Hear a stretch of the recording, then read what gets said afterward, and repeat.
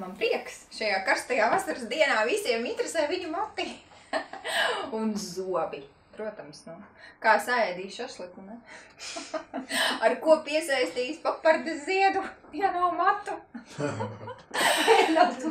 Vai ne? Pilnīgs ārprāts, bet īstenībā, eh, nu, ja mēs tā paskatāmies uz tiem mūsu matiem un tiem zobiem, ja, tad tā jau mums liekas, ka viņi ir tikai mums skaistumam domāti, bet īstenībā viņiem ir daudz dažādu ļoti svarīgu funkciju. Un uh, mati, uh, tāpat kā uh, zobi, mums ir doti arī, teiksim, nevis tāpat vien, ja? bet uh, ar noteiktu mērķi. Uh, un šodien es stāstīšu par matiem. Mans vārds ir Vineta Meduņecka, un Velga Dundurē ar komandu stāstīs par zobiem. Nu, Lai runātu par matiem, man ir arī lielas tiesības, jo vispār man bija ļoti lielas izredzes ap šo laiku, ap 46 gadiem jau būt plikpaurē. Tāpēc, kad nu, man bija iedzimta arī nebija labi mati. Ja? Man māma nekad neaudzēja matus, viņa man grieza, un es atceros, man bērnības sapnis bija, ka man ir izauguši gari mati, un es eju, un man tie mati šitādi, un es pamostos, bāc, man nav matu, man īsti visu laiku. Un māma man vienmēr grieza nost, jo viņa teica, nu, ko tās peļastītes tur audz, audzēt, ja, ka nav pat ko sapīt. Un, un, un, un teiksim, nu, nav jēgas viņas audzēt, bet man vienmēr bija īsi un visām bija meitenēm gari, un es to ļoti pārdzīvoju. Un, un, un tad, kad jau es biju pieaugušāka, tad es, protams, viņas sāku mazliet piekrāsot. Es esmu dab, nu, īstenībā es esmu diezgan dabīga, dabīgi tāda blonda, bet nu, ne šāda. Ja? Tā tad es sanāk tā, ka es visu mūžu būtībā šos te matus krāsoju vēl. Ja? Nu, un tagad, piemēram, jau ir tās jaunākās tehnoloģijas, labas krāsas, tad kādreiz bija ļoti agresīvi balinātāji, ja, un es atceros, kā tik man negāja. Pirms 25 nokrāso un mati vienkārši šķipsnām, jā, un tur pilnīgi līdz, līdz, es atceros, man pilnīgi nāca ar visu ādu, jā, ārā tādi gabali, tad, kad bija nosvilināti tie mati. Ui, bet nu redziet, tomēr ir, jā, kaut kas mums tur ir saglabājies. Tā kā arī matus īstenībā, ja viņus pareizi kopj un baro un ar, par viņiem īstenībā parūpējās, tad mēs varam nodrošināt. Jā, es jau tev vēl pasaukšu kā rezultātu. arī tevi. Jā, kad īstenībā mēs varam šo te matu uh, folikulu augšanu stimulēt, jā, uh, matā to uh, sīpoliņu reģenerēt, jā, un arī tas mums ir īstenībā, mums ir dabas dāvanas, dabas vielas, kas mums palīdz arī to izdarīt. Mums vajag tikai zināšanas, un šodien mēs arī dalīsimies gan ar zināšanām, gan arī ar praktiskiem padomiem, kā viņus pareizi kopt arī ārīgi ko vēl mēs varam izmantot, ja, lai šī te matu rota mums būtu jauka un skaista līdz sirmam vecumam. Jo es nezinu, man pašai, nu labi, kliporēni vīrieši, tas vēl viena lieta, tas vēl ir ok, ja, kā vēl saka, ja, jo, ma, jo mazāk matu, jo lielāka potence vīrietim ir tāds teiciens. Ja. Jā, uz dārgakmeņiem šūnas neaug, ja, bet īstenībā nav nekas drausmīgāks par kliporēnu sievieti, godīgi sakot, ir redzēts tāds, kurām pilnīgi izkrīt tur augšā tie matiņi nav. Un vienkārši tu skaties, domā, ak, Dievs, kaut tik man tā nekad nebūtu, ja? Nu, tad, lai mums nekad tā nebūtu, mums šis tas ir jā, jāiegulda, jā, savos matos, jo matu folikuls viņš arī, jā, var, var izkrist, viņš var uh, vienkārši aizmigt, jā, Bet viņš var arī pamosties. Ja? Tā kā mēs, mums daudz kas ir jāzina par to. Nu, būtībā maci ir, nav, nav vienkārši skaistumam, viņš mums ir dots, kā jūs domājat, kam mati domājat? Aizsardzībai. Aizsardzībai. Tieši tā. Un viņi ir uz visa ķermeņa, izņemot uz lūpām un uz plaukstām. Visur ir matiņi, ja mēs tā pastamies. Mēs no viņiem, protams, atbrīvojamies. ir ceļušas sievietes, jā, arī vīrieši mēdz atbrīvoties, bet tas ir, man liekas, vispār muļķīgi diezgan. Bet, nu, būtībā viņš ir domāts aizsardzībai. Viņš aizsargā no sala, no augstuma, no karstuma, no pārkaršanas galvu, jā, tā tad viņš aizsargā uzacis, piemēram, aizsargā acis no sviedriem, jā, skropstas no insektiem, un uh, katrs matiņš, jā, teiksim, ja mēs paņemam ādu, viņš viss ir tādiem maziem matiņiem, kam gaišāki, kam tumšāki. Un būtībā es lasīju, ka mats ir domāts, un tagad jau mēs sakrāsojamies un visu to izbojājam, bet mats principā arī ir domāts mati tur, tur, tur, ja, viņiem ir kaut kāda tāda dabiska smarža, kas palīdz pievilināt pretējo dzimumu. Pareizo partneri izvēlēties. Tātad ar matiem viņi mums arī ir kā tādas antenas, jā, ar ko mēs varam mums ir dots arī vēl vairāk kaut ko izdarīt. Ja? Tā kā laimīgi tie, kam nav krāsoti mati, kam, kam nav izdzītas fotos. Bet, nu, fakts paliek fakts, ja. Jo šobrīd, varbūt tāpēc mums arī tā neiet bieži vien laulības dzīvē, ka mēs vienkārši neesam pareizos pievilinājuši. Mēs te nokrāsojam un atnāk Ai, ne tas saka. Kāds kreisais atnāk. Kreisais. Ne uz tiem matiem. Nu, lūk, tad um, parunāsim par to, kas mums traucē šo te matu vispār nu, būšanu uz mūsu galvas. Ja? Kas, mums, kas tad tam matam nepatīk ļoti. Ja? Būtībā viņam nepatīk viss tas, kas nepatīk pārējiem orgāniem. Ja? Pirmkārt, tas ir stress. Cik nav dzirdēts, ka pēc stresa tieši sākās ļoti intensīva matu izkrišana, ja varbūt ne nākošā dienā, bet tad, kad stress beidzās, ja pēc kaut kāda pusgada, ja var sākties gan citas veselības problēmas, gan arī matu izkrišana. Kāpēc tas tā ir? Es jums schematiski uzzīmēšu, ka būti, oh, hei, uzzīmēšu tikai ko. Var redzēt, es nezinu.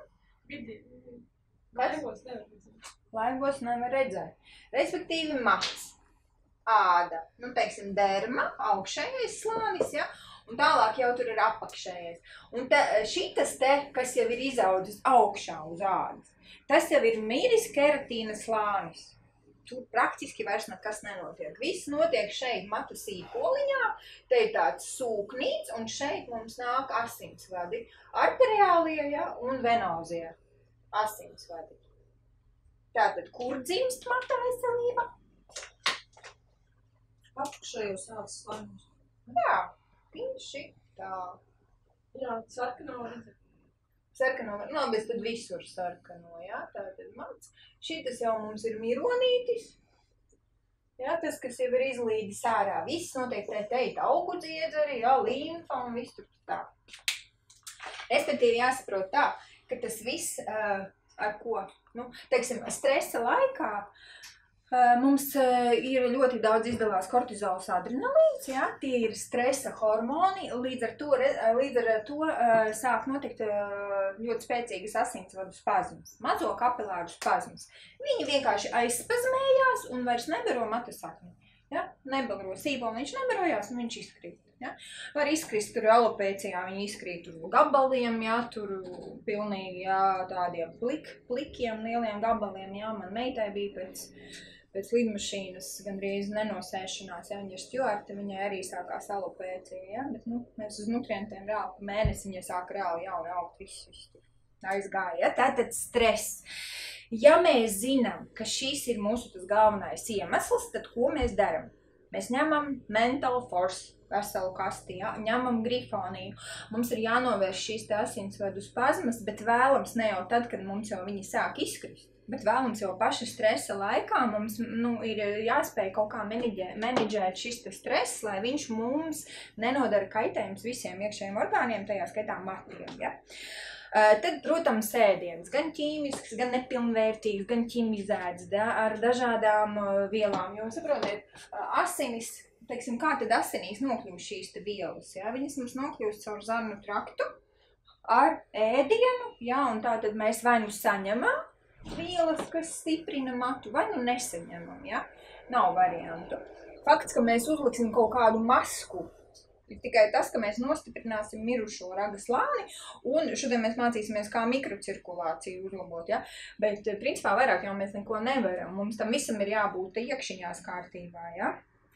Tālāk, trešais milzīgais iemesls ir, protams, sēnes, vīrusi, baktērijas, dažādas, dažādi iekaisuma procesi, kas ir arī notiek cilvēku organismā. Sēnīte bieži vien dzīvo ja, šeit, Ja? Caur līmfu asinīs viņa ir, viņa visur tur cirkulē. Ja? Un blauzmas mums ir vai egzēmas vai psoriāze, mums ir tikai tas, kas jau parādās uz galvas ādas, bet viss tas process arī notiek iekšķīgi. Ja? Bieži vien hroniskie haimarīti, viss, kas te deguna dobumu iekaisumi, ja? viss, kas te mandeļu rajonā notiek, ja? tur uh, visādas angīnas un visādi hroniski procesi, kas notiek šajā te rajonā, viņi vi- visi ietekmē matu veselību, ja? jo šī infekcija dzīvo šeit, ja, šajā rajonā un ietekmē matu sakni. Saknes, ja, tā, tad, tā, no tā mums arī ir jātiek vaļā pēc iespējas ātrāk ar attīrīšanos. Tālāk ļoti uh, viens tāds arī uh, bēdīgs stāsts ir medikamenti, ja, kas īstenībā novājina visu organismu, viņi izjauc visu orgānu darbību, zarnu trakta aknas, ja, jo mēs zinām, ka aknās mums sintizējās visas vielas, ja, uh, kas ir gan uh, olbaltumvielu sintēze tur notiek un tā tālāk, un mikroelementu vitamīnu sintēze, un ja mēs esam jau, teiksim, ar medikamentiem regulāri indējamies, ir skaidrs, ka matiem, nu, mati cietīs no tā, ja. Ļoti bēdīgs stāsts ir arī, uh, protams, visas hormonālās pretapaugļošanās tabletes. Ja, tur arī var būt šis faktors iesaistīts. Ja. Tālāk, protams, grūtniecība kā riska faktors, bet tikai tad, ja mēs nebarojam. Ja? Jo saprotiet, ja tur jau vienai mātei pietrūka, ja šī matam, tad, ja viņai jādalās ar bērnu un viss aiziet bērnu veselībā, tad, protams, matam nepietiek, jo no kurienes tad ņems tas organisms. Nu, viņš atslēgs šo te mūsu aizsardzības eh, funkciju matam, man, nu, macu tiek uzskatīts, nu, ka nav tik svarīgs, ja, protams orgāns salīdzinot ar citiem orgāniem. Un interesanti, ka grūtniecības laikā bērnam tas folikulu skaits eh, jau eh, tiek nodots trešajā grūtniecības mēnesī, jau ir zināms jau kādi viņam būs mati, cik viņam tie folikuli būs, ja tā tad jau tad tiek jau, jau, jau tā tad iekudēts. Tas, un principā cilvēkam vienam ir apmēram 100 tūkstoši mati, Tie folikuli uh, ir gan snaudošie, nu, pārsvarā 90% aktīvie folikuli, 10% snaudošos, snaudošos var apmodināt. Ja? Arī, uh, un būtībā sanāk, ka no viena folikula dzīves laikā izauga mats, apmēram nomainās di- nu, septiņu gadu laikā, nu, 5, 7 kā kuram, ja, ja sāk krist ārā, tad, protams, ātrāk, ja. Bet būtībā tā rezerve organismam ir apmēram uh, 30 reizes uh, izveidot jaunu matu. No 20 līdz 30. Ja, tā tad jāparēķina, kam ir kalkulators. Nu, pieņemsim, maksimums 30 reizes 7. Mums ir tātad cilvēkam būtu jādzīvo 210 gadi. Un ar matiem pie tam. Nevis 50 un jau klikpaurains, bet īstenībā šobrīd mūsdienās ļoti ātri arī eh, puiši, skatos pēc 30, pat nav 30, 25 gados absolūti jau uh, paliek maz tie matiņi un jau sāk skūt vispār klipas galvas. Ja? Nu, tas arī nav īsti, īsti tā kā teini. Protams, ekoloģija, ja, radiācija, viss ietekmē tas, kas indīgās vielas, iekšēji ārējie toksīni, ja. Astotais mums ir traucēta iekšējo orgānu darbība, traucēta, nu, tā tad nepilna, nu, teiksim, barība nesagramojas, jā, zārnu trakts netīrs, jā, viss par to, ko mēs runājam katrā mūsu lekcijā, jā, kad mums ir jāsāk ar attīrīšanos. Uh, un devītais iemesls ir kakla skriemeļa nobīde. Ja? Tomēr, ja jūs jūtat, kad ir te osteohondroze, ja? uh, vai kaut kāds tas skriemelis spiež nost, tad ir skaidrs, ka līdz šejienei aiziet līdz matam galvā. Tur darbojas mazais kapilārs. Bet šeit jau kakla daļa, ja? kur iet uz augšu šīs asins, nu, tā cirkulācija, ja? nu, tur arī nedrīkst būt nospiesti šie, šie, šie asinsvadi, ja? tur arī jācirkulē. Tāpēc ir jāvingro. Visi vingrinājumi, kur galva lejā, ja, arī nodrošina šo te mikrocirkulāciju, masāžas vingrošanu. Ja. Tātad, uh, ja vajag manuālais terapeits, lai saliek visu vietā, ja izmasē šo te kaklu daļu. Nu, lūk, tā. Tā, tu esi pateica. Tā, mata ķīmiskais sastāvs. Principā apmēram uh, 78 līdz 90% matas sastāv no kā?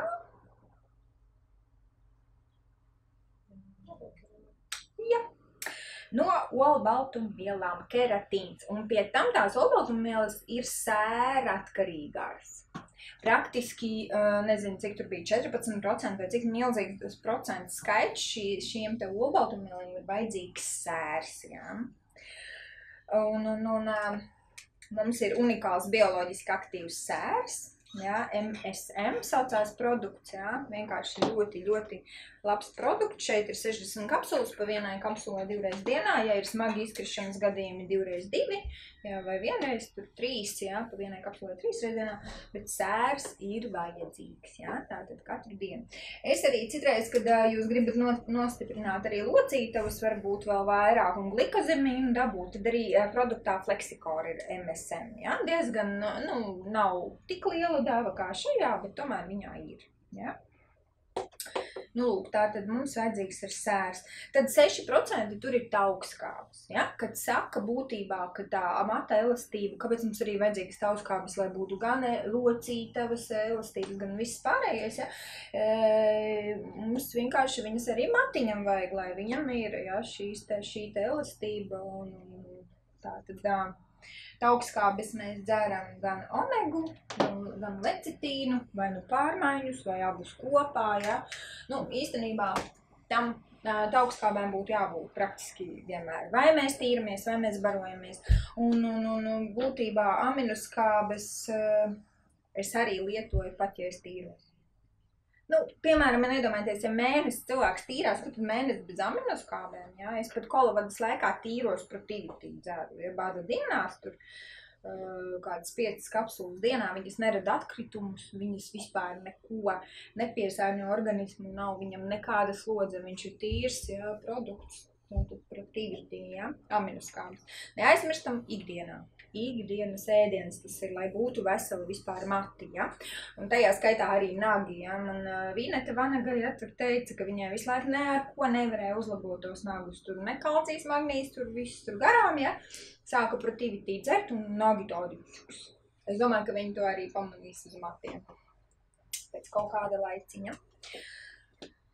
Tā. Un līdz 15% matā ir kas? Ūdens. Arī ūdens, jā, protams, un pigmenti, jā, pārējais ir tur pigmenti, jā, tātad arī mit, vitamīni un mikroelementi tur ir, pēc tam mēs parunāsim par kādi viņi tieši ir. Uh, nu, lūk, nu tad programma, sākam, uh, sākam ar to uh, produkti, kas nostiprina matu un veicina to augšanu. Ja, variet, variet produkti matiem. Nevar redzēt. Sarkanā labi. Mamma, nē, bet tas nerakstīja. Starp citu, es arī, jas, nu, kad jāsirmi matu paliek, tas nozīmē arī par aknu. Viņš vienkārši matam ne, nu, neražo Jā, pigmentu. par sirm, sirmiem es arī vēl pastāstīšu. Jā. Tā, produkti matiem. Ā, Tātad pirmkārt ūdens, ja? bioloģiski pieejams. Jo, ja jūs atceraties to manu zīmējumu, ja, tātad uh, šo te asins sastāvā pārsvarā ir ūdens, un asins dabūt šķidras, vispār bioloģiski pieejamas, un uh, tādas, kas var vaļā šos te mazos kapilārus, kas nes skābekli, kas nes barības vielu šīm te matu folikulam, ja, uh, tur mēs nevaram ne bez koralmaina, uh, ne bez H500 jā, iztikt. Tātad mēs liekam vienu maisiņu korāla mainu uz pusotru litru, jā, iebaram vienu kapsuliņu H500, jā, un mēs dabūjam dzīvu sārmainu ūdeni, kur būs gan magnīs, gan kalcijas, gan dažādi citi mikro makroelementi, kas arī stimulēs šo te matu augšanu, jo mums jābūt mūsu asinīm šķidrām, jā. Tālāk, otrais attīrīšanās. Mums noteikti jātiek galā un regulāri jādzer, ja teiksim, mums ir jau izteikta sēnīša infekcija, ja, vai viņam mēs jau nedod Dievs, mums ir blauksums, vai vēl trakāk ir psoriāze, vai kaut kādas egzēmas galvā, ja. Un pat ja viņu nav, mums ir vienkārši normāli mati, tad mēs vienalga regulāri tīramies. Ja, ja pat viņš nedzīvo mums šī sēne baktērijas eh, jau pašā galvas ādē, tad viņš eh, noteikti mums ir jātīra regulāri zarnu trakts vismaz četras reizes gadā. Ja. Tas ir obligāti pretseņu, pret bakteriālās, pret vīrusu programmas obligāti. Ja, un tas, kas iztīrīs mums zēnu traktu. Jo, ja mums būs netīrs zēnu trakts, ja mums būs ne, nepārstrādātas vielmaiņas pro, produkti, ja viss kaut kur, un, un, un tad mēs nekad nedabūsim normālas asinis, ja? jo asinis jau iztīrīt mēs nevaram. Mēs varam iztīrīt tikai zēnu traktu, un tad mums arī attīrās un uzlabojās mikrocirkulācija. Tad vēl ā, ļoti svarīgs produkts mums ir beidzot jaunums, šis te pentokāns. Varbūt jūs esat redzējuši pentukānu video, kā viņš pēc pusstundas pēc pentukāna dzeršanas, tad ir jauni šie te mazie kapilāri. Viņi pirmkārt, sākumā, tu teiksim, viņš tā guļ, guļ, guļ, guļ pa, kap, pa kapilāru iet, ja? Tās asinis tā lēnām, ja? Tad pēc pentukāna pusstundas viņas tā, š, š, š, ja? tā plūst pilnīgi. Un uh, pat ir īstenībā pierādīts, ka bija veidojas jauni mazie kapilāri. Ja, jauni mazie kapilāri. Tas pats arī, šāda pati arī ā, iedarbība ir gan H500, jā, ā, vienkārši lieliska un fantastiska mikrocirkulācijas uzlabošanās. Jā. Un ja mēs runājam labi, par attīrīšanos, tad es nerunāšu par schēmām šeit. Ja? Katrs lūdzu griezieties pie savu cilvēku, kas rāda šo tiešraidi. Viņš noteikti zina to secību, ja obligāti gan vīrusu, senas baktērijas, parazīti jāiztīra no organismā un vajag noteikti arī uh, dziļo attīrīšanās kolivādu taisīt un arī trešajā uh, etapā līmfas attīrīšanu. Ja, obligāti, jo tā kanalizācija arī jāiztīra. Ja. Uh, un ir interesanti, ka ir cilvēki, vieni visu laiku domā, kā tikai pabarot organismu, ko matiem? Dodiet man, es saku, jātīrās. Nē, man, es, man taču vajag to matu, man vajag noteikti tur kaut kādu tur kalciju dodiet, ja. Un vieni atkal savukārt saprot, ka ir jātīrās, viņi tīrās, bet viņi reāli neatjaunojās. Un uh, sanāk tāds, ne šis, ne tas, jā, mums tā kā ir dotas divas kājas, bet mēs tik lecam uz vienas, jā. Un nu, nav tā rezultāta reāli. Mums vajag tīrīt un barot, tīrīt un barot, tīrīt un barot katru dienu. Ka man kāds prasa, cik ilgi jābaro, nu, cik ilgi gribās matus. ja, ja, ja ir aktuāli mati, tad vienkārši vajag asociēt ar matiem. Bet katra šūna grib ēst katru dienu. Ja. Un viņi arī piesārņojas organisms nu, katru dienu. Ja. Tātad attīrīšanās uh, sistemātiska sistemātiska. Ja? Sistemātiski. Ok, tālāk. Kas ir viens arī ļoti svarīgs elements, bez kā mēs nedabūsim veselus matus, tā ir gramošana. Gramošanas sistēma. Un, lai mēs dabūtu normālu gremošanas sistēmu, mums ir vajadzīgi papildus lietot fermentus. Ja? Jo īstenībā fermenti mums pietrūks, mums nav viņi uzturā. Un, ja mums nesašķeļās šīs, šis te ēdiens, ko mēs apēdam, ja mums visu laiku asinis ir biezas, taukainas, lipīgas, netīras, mums nekas nepārstrādājās, zemu trakts tur viss te aizsprūst, visādas. Uj, visādas, teiksim, pūšana notiek, rūkšana, kas katrā ziņā, ja tie pūvekļi matam nu, galīgi nepalīdzēs. Tāpēc ferments, fermenti mums ir visos posmos, ja? visu mūžu es viņu dzēru. Ja? ja man nav laika trīs reizes dienā, tad divus no rīta, divus vakarā obligāti, jo viņi novāc lieko. Viņi palīdz šķidrināt asinis, teiksim, sašķelt no asinīm tās nepārstrādātās obaltumvielas, lai šī mikrocirkulācija būtu kvalitatīva. Ja? Nu, un, protams, mums ir vajadzīgi arī zobi, lai mēs sagramotu, ja? nu, par to vēl bija stāstīts. Un būtībā arī lecitīns. Viņš ir žūdzinējs, viņš palīdz aknai tātad izdalīt žūti, un žūts savukārt ir tā, kas šķeļ taukus. Jā, lai mums tās nebūtu tās asinis taukainas, biezas, nekādas. Jā, lai mums šeit būtu arī, teiksim, pretparazitāra aizsardzība, lai akna, kas keratīnu ražo mūsu ķīmiskā fabrika, jā, kas ražos materiālu priekš matiem, lai viņi labi justos, jā. Tātad obligāti vajag lecitīnu, plus es aknai ieteiktu arī katru dienu kaut ko dzert. Jā, vai nu tas ir artišoks, vai nu tas ir fanditoks, vai nu tas ir zaferāns, vai nu korāla burda krūt. Ja šie četri produkti, pamīšus vai divi kopā, es parasti ņemu divus. Piemēram, tagad man ir artišoks ar fanditoks. Ja? Nākošā mēnesī es varbūt paņemšu zaferānu ar burdaku. Jo, nu, ja nu mums nomirst akne, tad principā viss. Čau, ja? Bet akne, ja kā tāda, viņa mirst lēnām, bet viņa, ja nomirst, tad viss, ja? Tad vairs neko nevar tur izdarīt. Nu, lūk, tas mums ir par tātad grimāšanas sistēmu, un mums ir vajadzīgi fermenti. Kādi fermenti mums ir korela klubā? Bērniem tā ir papaja, ja, ja ir smagi gadījumi, un ja jau ir psoriāzes un jau matiņos jau ir problēmas, tad tie ir jāņem stiprāki fermenti, vai no asimilators vai digestable, bet obligāti vajag fermentus iekļaut, ja.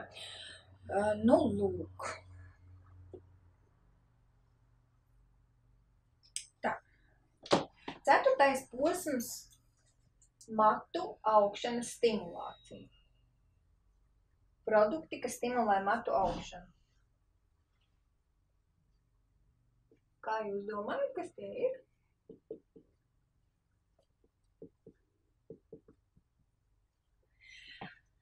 Pirmais mums ir H500. Ā, Mums tas ir pasaulē spēcīgākais antioksidants. Antioksidanti mums ir vajadzīgi obligāti, jo viņi, principā, viņi viņi nodrošina to, ka šīs šūnas paliek dzīves. Ā, Ja mēs runājam par sirmiem matiem, ā, tad būtībā zinātnieki vēl nezina, kāpēc tas sirmais mats, bet mums jau ir nojauta. Nojautas, ja mēs apmēram zinām. Ā, Kā īstenībā ā, mata pigmentu ra, ra, ražotie paš, tās pašas šūnas, viņas ir līdzīgas astoņkājiem, viņas nav tā kā parastās apaļas šūniņas, ja? Tie ir melanocīti, melanocīti. Viņi ražo melanīnu. Tas ir tie, tie ir tās, tās pašas šūnas, kas ražo arī mūsu ietekmi. Ja? Un būtībā, kāpēc viņi pamet galvu, mūsu gudro galvu, kāpēc viņi aiziet, ja? Ā, jā, nu, vienīgais, ko zinātnieki pieļauj, ka varētu būt brīvie radikāļi, kas uzbruk šiem melanocītiem, jā, un ievaino. Mēs arī zinām, ka īstenībā, teiksim, nu, brīvie radikāļi ir novecošanās galvenais iemesls, kāpēc mums iet bojā šīs šūnas, jo katru dienu no ēdiena, no stresa, no pārtikas, no visa, visa kā, jā, mums uzbruk div, vienai šūnai uzbruk 20 tūkstoši brīvie radikāļi. Un būtībā, ja mēs runājam, ka mums šis TH500 ir novecošanās produkts arī jebkurai šūnai, ja, tad ir tīpaši arī mata šūnai. Ja, un viņi arī stimulē šo te mata augšanu, jo tur ir šis te silīcijas, ja, tāda viela, kas, kas palīdz tam.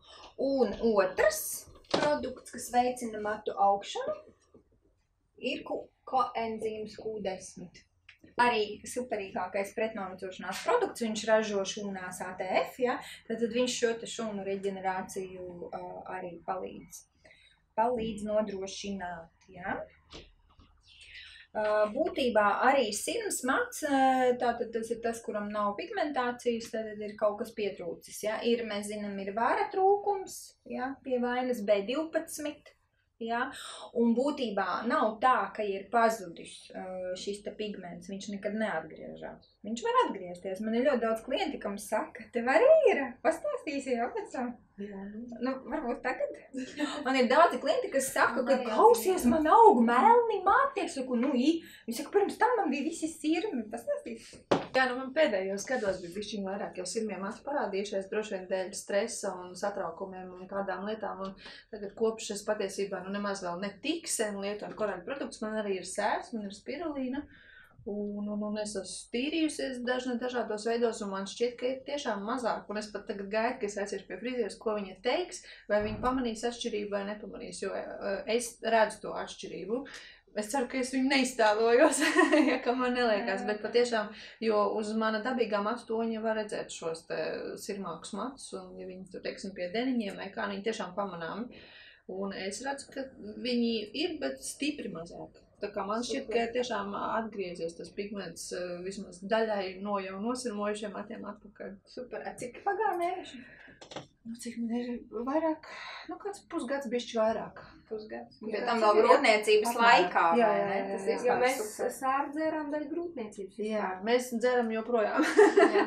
dzeram aktīvi joprojām. Vienu rītā, vienu vakarā un spirulīnu un visas citas lietas. Kā 500 arī tu dzeri. jā, jā, jā. Un tad es redzu, ka ir tas pigments atpakaļ. Jā. Nu, vēl kaut kādu priekšu, un tad jau redzēsim. To jau pēc tam To Šī jau tagad ir. Ko Tu arī pastāstīsi par matiem? Es varu pastāstīt. Jā, pie reizes, jā. Es arī pie reizes pastāstīšu par matiem. Pirmkārt, sirmums. Es 28 gados nosirmoju principā, gan arī uz visa galva. Baltā krāsā, tikai augšpusīte.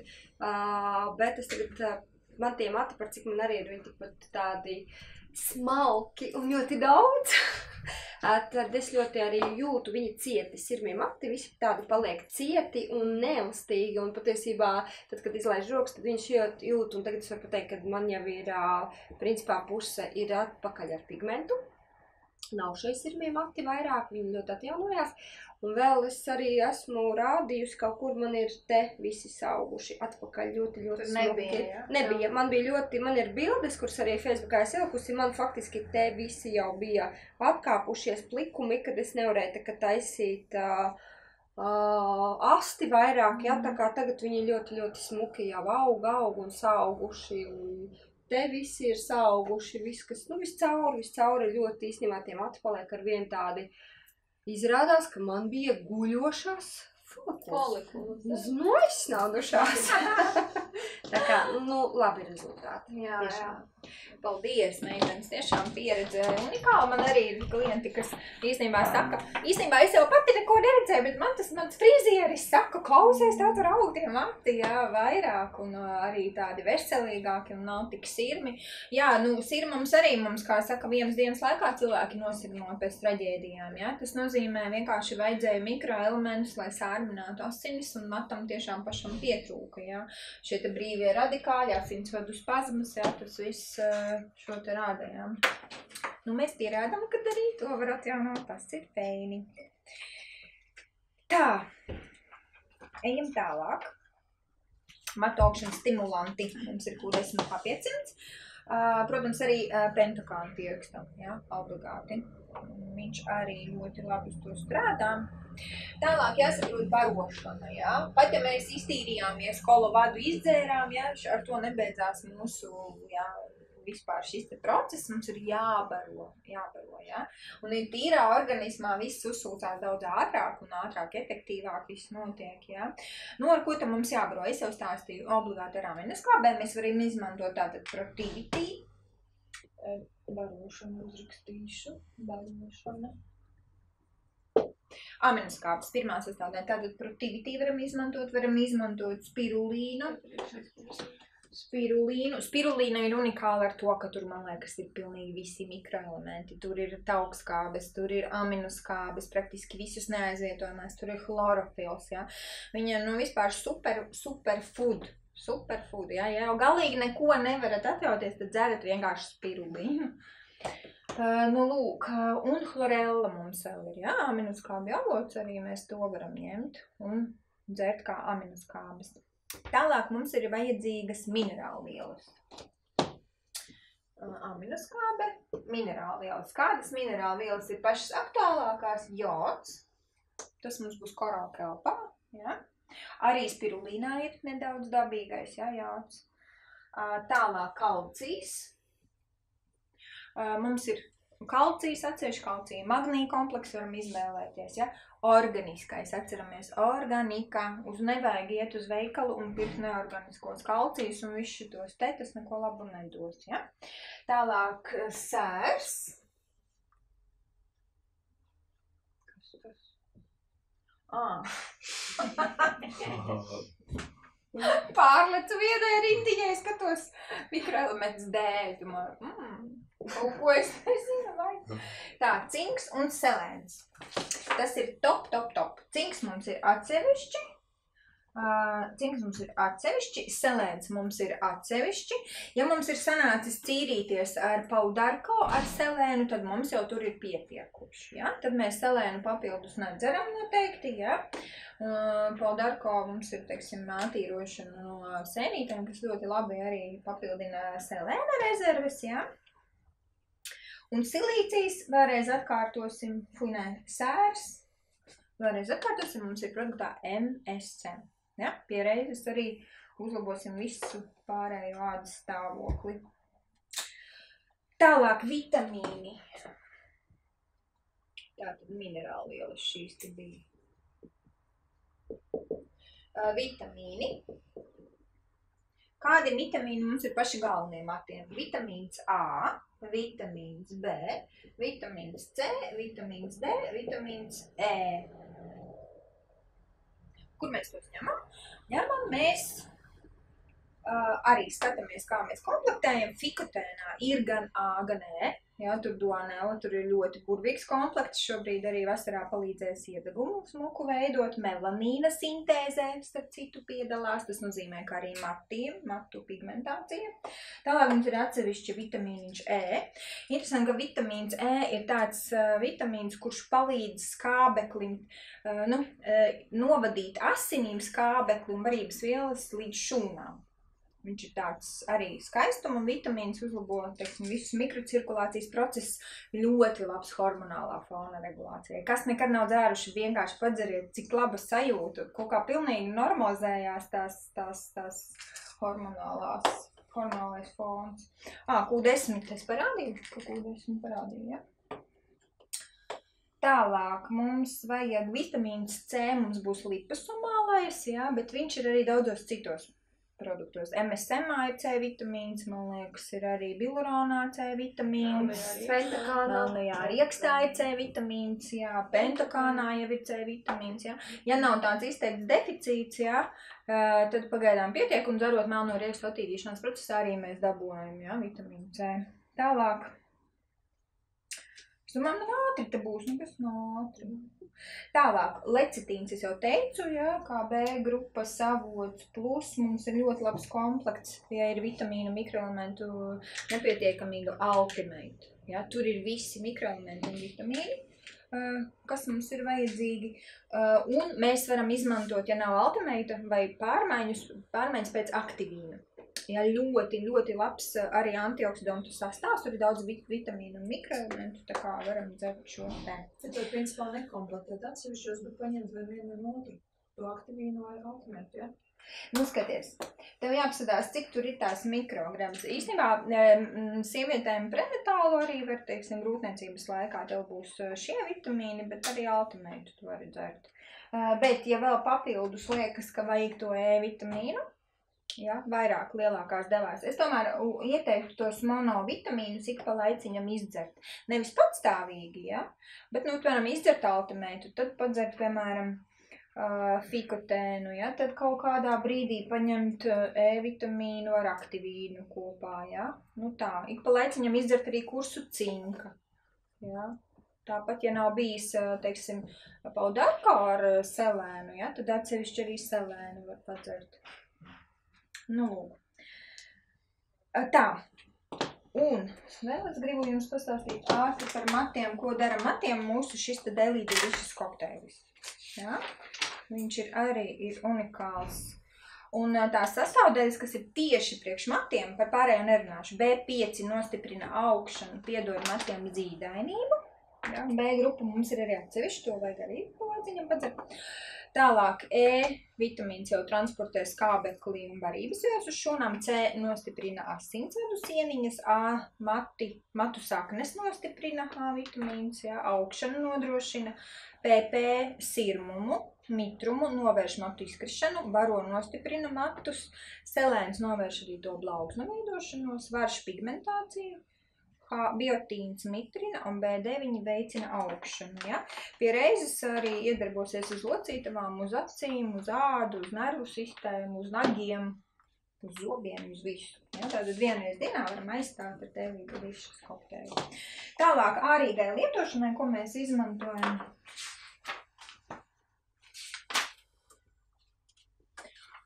Tā, tam laiks? Un jābeidz. Tā, mikrocirkulācijas uzlabošanai es jau stāstīju vienā lekcijā, variet noteikti paskatīties. Var, kas nav visi smaržojuši to smaržīņu. Mhm. Uh, kūra līp, ziedīta. Viņa domāta locītavai, mikrocirkulācijas nodrošināšanai, un kas tur iekšā ir.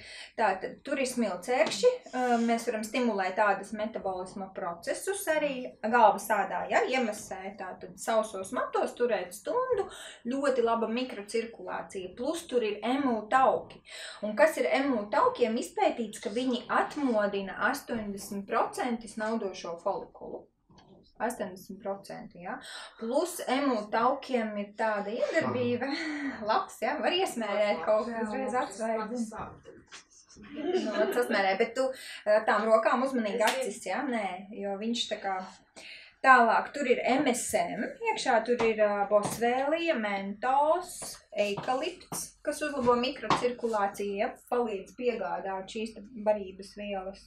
Bet ne jau matam viņš domāts, viņš domāts locītavām un saistaudiem, bet matiem arī saistaudi.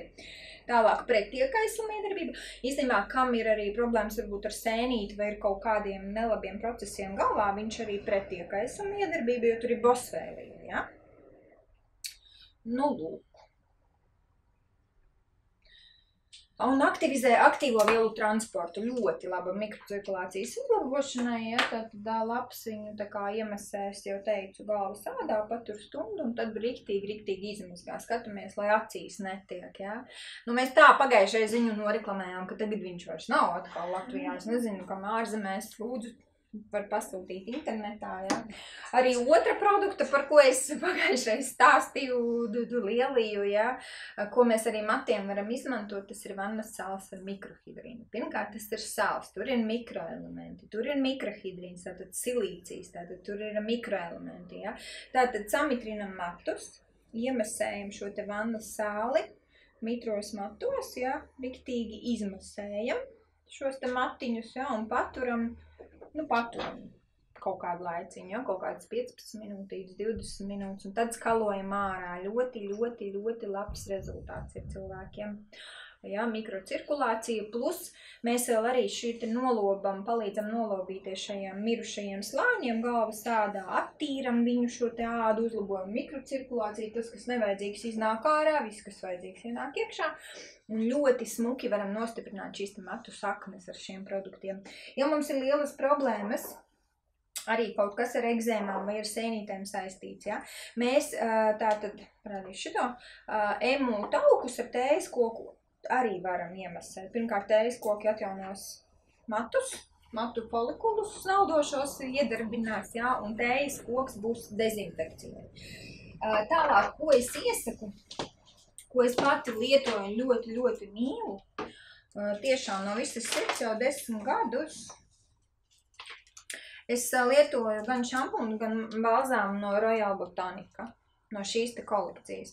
Uh, Tur ir laurēlu sulfāts, bet viņš ir tīra laurēlu sulfāts. Tas ir absolūti vismaigākā laurēlu sulfāta deva, kuru izmanto tikai ļoti dārgā kosmētikā. Jo mēs saprotam, lai dabas vielas mēs saglabātu kaut kā, lai viņas lai nerastos tur baktērijas un vīrusi, tad viņām ir jābūt kaut kādam konservantam. Ja? Tad šeit ir vismaigākais, kas var būt.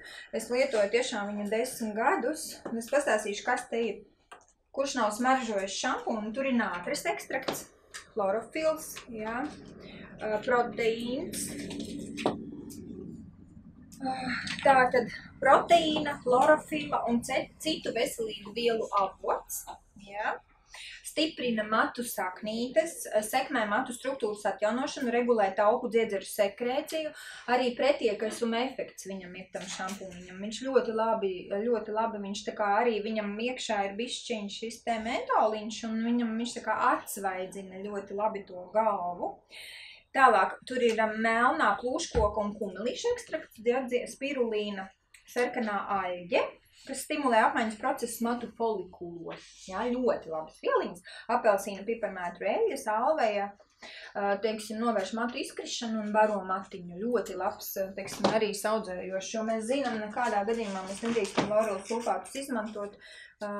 Viņš īstenībā sabojā galvas tādu, ja, visos šampūnos, balzāmos pat bērnu ir šīs vielas, ja. Un kondicionieris, es arī viņu pērku jau desmit gadus, vienkārši dievīga smarža, un maniem matiem viņš ir ideāli. Kur es to jau paspēju? Bērniem, bērniem arī var ne? Jā, jā, jo bērnu arī šampūnos un balzāmos arī ir laureļu sulfāti ir ļoti nu, tādi agresīvi pie tam, jā.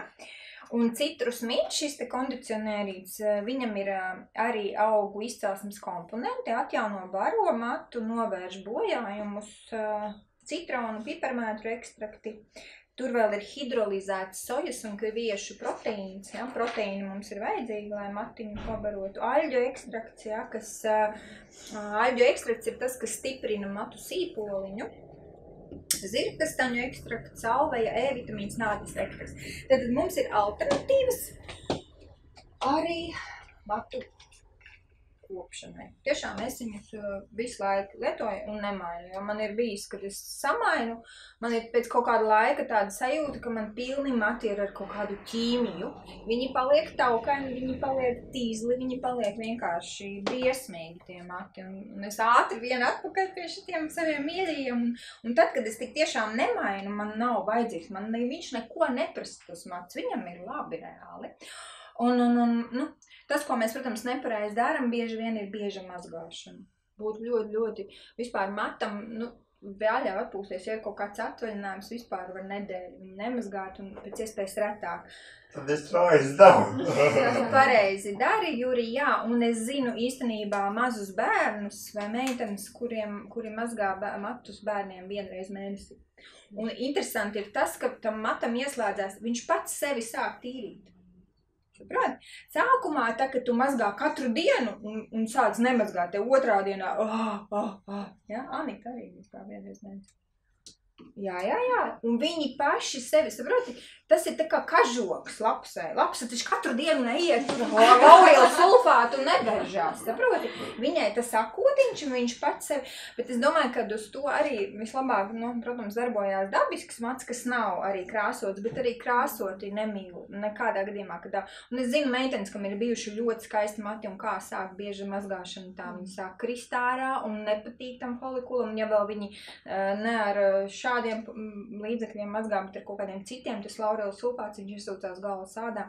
Protams, arī krāsot nevajadzētu matu saknes, ko es pati daru. Es jau tagad šo lekciju gatavoju, domāju, neprasīšu. Tagad nākošais, lai vai kaut kā savādāk.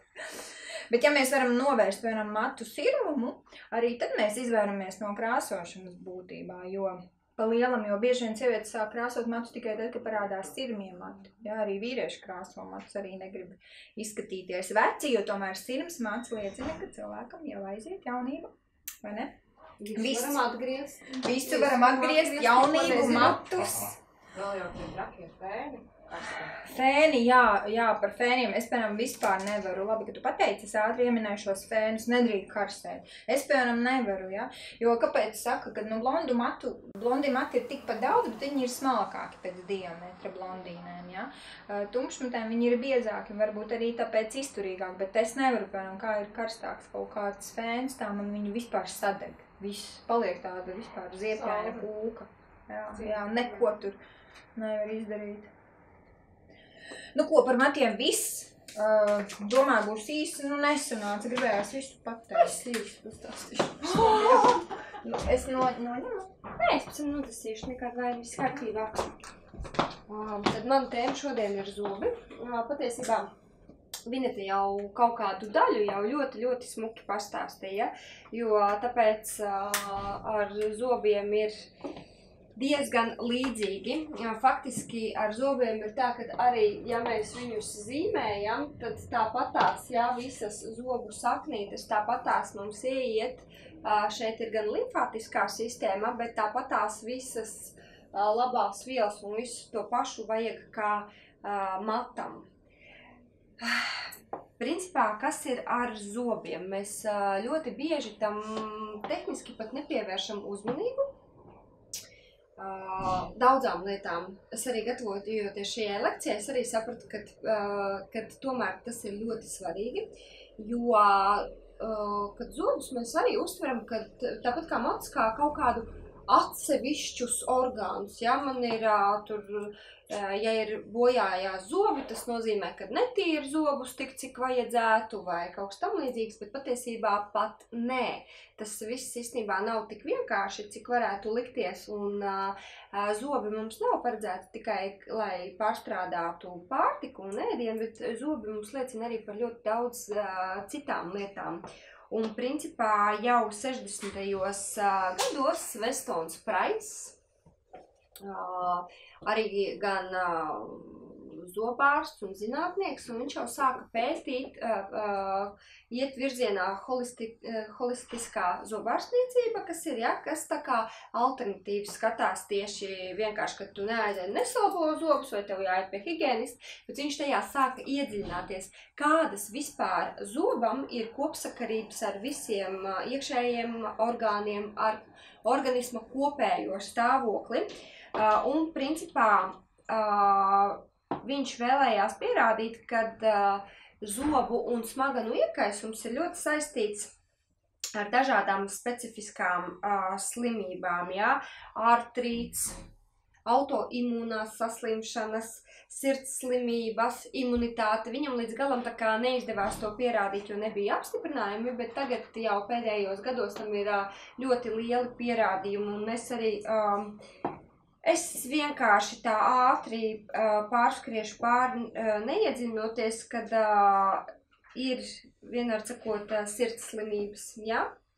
Tā kā, uh, principā, vajadzētu arī uh, kardiologiem un uh, tieši, kas strādā ar sirds slimībām, vajadzētu ļoti lielu uzmanību vērst tieši uz zobiem un paskatīties, tad, kad pacients atnāk, kas notiek viņa mutē. Jo tāpēc, ka tas arī ir saistīts ar visu kapilāro sistēmu, jā, jo tāpēc, ka caur zobiem visas šies iekais un viss šeit jau pie, smaguna, pie smaganām jau arī visa ir apasiņošanas sistēma, jā, visa limfātiskā sistēma, tātad ir jau kapilārā traucējuma, tāpat tās, ja mēs skatāmies sirds, viss lielais sirds muskulis jau arī sastāv no kapilāriem, ja, un tad caur to muti mums visas tās indes iekļūst asinsritē, kapilārajā sistēmā. Tad citu es nepateicu, kad arī matu izkrišanas iemesls var būt zobi bojāti. Jā, tieši tā, jo tāpēc, kad uh, sirds un galva, uh, ja mēs viņus skatāmies, tad faktiski viņi ir no mazajiem uh, kapilāriem. Ja? Nu, viss sastāv no mazajiem kapilāriem, kas pienes skābekli, kas visu apasiņo, apgādā ar uzturvielām, barības vielām un vispārējo. Tā kā ļoti bieži ir īstenībā man arī praksē, kad iet taisa kardiogrammas, viss ir kārtībā, bet ir tāda sajūta, ka ir slikti ar sirdi, ja, kad ir problēmas. Tā ir kapilārā sistēma. Ja, un tad arī līdz ar to arī uh, es uh, īstenībā jau pētu un pieķeksēju arī pati savus jau tādus jau novērojumus. Uh, īstenībā parasti ļoti bieži arī šiem cilvēkiem ir vai nu liktie zobi, vai nu var redzēt, ja, kad ir strādāts ar zobiem jau diezgan daudz, šie zobi bojājās tad ir ļoti saistīts ar imunitātes traucējumiem. Ja? Tātad autoimūnāsis, ja ir problēmas ar imunitāti, tas arī var būt no zobiem, jo tāpēc, kad, tad, kad arī tur iekļūst baktērijas, infekcija un vispārējais, tad uh, imunitāte vienkārši ļoti, ļoti, ļoti pastiprināti strādā, lai tiktu ar to galā. Un tajā pašā laikā, tad, kad viņa ir aizņemta ar nevajadzīgām lietām, viņa palaiž garām ļoti svarīgas lietas. Ja? Un tad sākās dažādas saslimšanas. Tā, tad ir vēl periodonta slimības saistībā ar vēzi. 14% lielāka iespējamība ir saslimt ar vēzi. Tu, šeit visi, es tikai nosaukšu, bet šeit visur ir pētījumi. Apakšā ir pētnieciskie dati, visi es viņus tagad nestāstīšu. Jā, tur visam ir apakšā pētnieciskie dati. Tas nav tāds mans izgudrojums. Uh, periodonta slimības un diabēts. Jā, jā, ir uh, runa tieši ir par otrā tipa diabētu. Uh, principā, ja ir šie ļoti izteiktie zobu bojājumi, ja, tad uh, ir paaugstināta tā kā iespējamība saslimt ar otrā tipa diabētu, vai arī tie, kas jau ir saslimuši, tad līdz ar to tie cilvēki tur bija pētīti ar diviem tūkstošiem cilvēku, kad ir šis otrā tipa diabēts.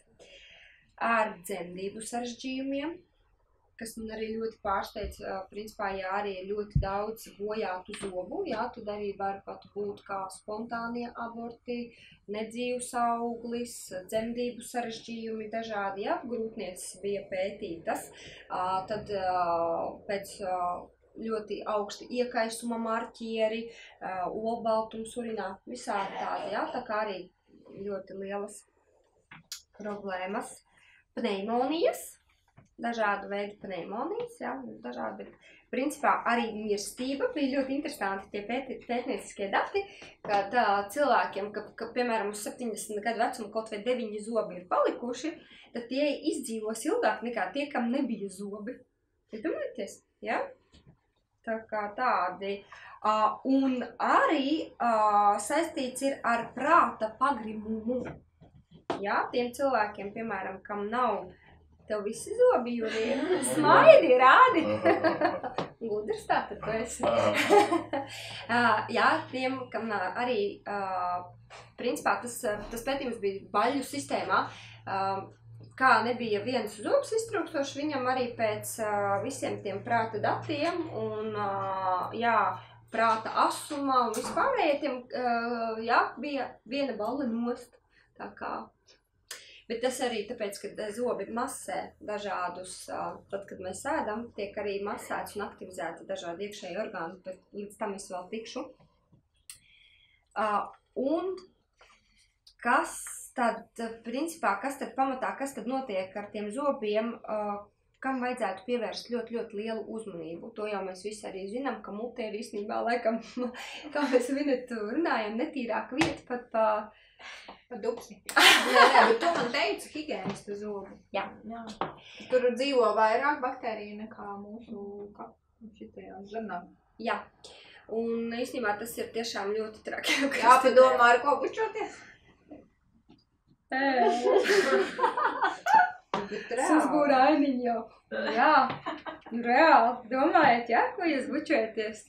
Pirms gribi ar mani bučoties, lūdzu, iztīri zemu traktumu. Izēj kolavāda, tā tikai nāc man klāt.